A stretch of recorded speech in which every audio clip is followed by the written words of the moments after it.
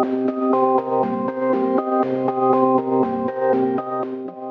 I'm Chris, and today I'm going to show you how to set up a projector in Yoga Tablet 2 Pro. So there are two ways to turn on the projector. You can either press the button on the side here, or you can slide up on the screen and just press the projector button right there. So the ideal setting to use a projector would be in a dark room on a large blank space. It could be the wall, the roof, use your imagination. So we'll just turn off the lights. Yep, and there we have it. So sometimes you might find that the picture might be a bit out of focus. So to fix that up, just carefully adjust the slider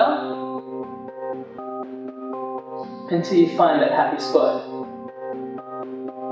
Perfect.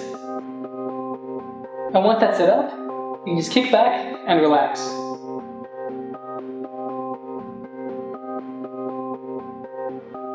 If you have any questions, please ask them in the comments below.